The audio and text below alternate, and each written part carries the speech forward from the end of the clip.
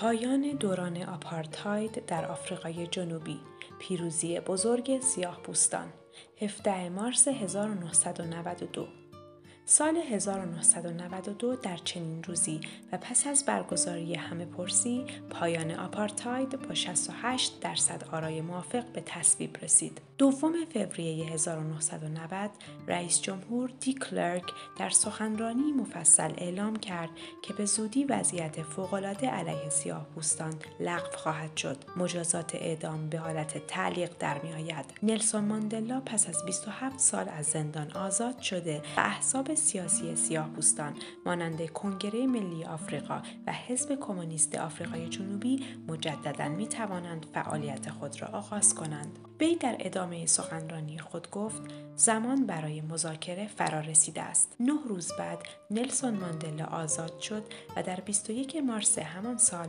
منطقه نامیبیا در جنوب غرب آفریقا مستقل شد. سال 1991 قوانین مبنی بر جداسازی عراضی سیاه پوستان با سفید پوستان و محدودیت مالکیت رنگین پوستان لغو شد. رئیس جمهور به سرعت مذاکره با کنگره ملی آفریقا را آغاز اما هر بار با شکست مواجه می شد. در این شرایط سفید پوستانی که خود را مالک و نژاد برتر می دانستند دست به شورش و اعتراض زدند. در آن طرف ماجرا هم سیاه پوستان که خود را بیش از هر وقت دیگر به آزادی نزدیک می برای به دست آوردن حقوق خود تلاش می کردند و همین مسائل باعث ایجاد تنش در مناطق مختلف آفریقا شده بود.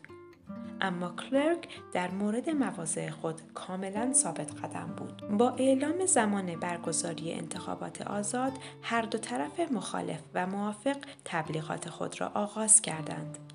اما به طور واضحی حزب دموکرات و حزب ملی از حمایت رسانه ها جوامع بین المللی سران و شخص رئیس جمهور برخوردار بودند.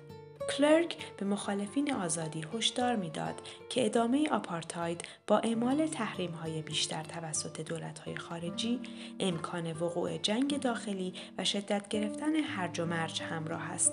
کمپین مخالفین هم با شعارهایی مثل برابری مساویست با بیکاری برای سفید پوستان یا هشدار نسبت به افزایش فقر و فساد و خطر کشته شدن کشاورزان و بازنشستگان سعی در جمعآوری رأی داشتند. سرانجام یک روز پس از همه پرسی رئیس جمهور اعلام کرد کتاب آپارتاید بسته شد.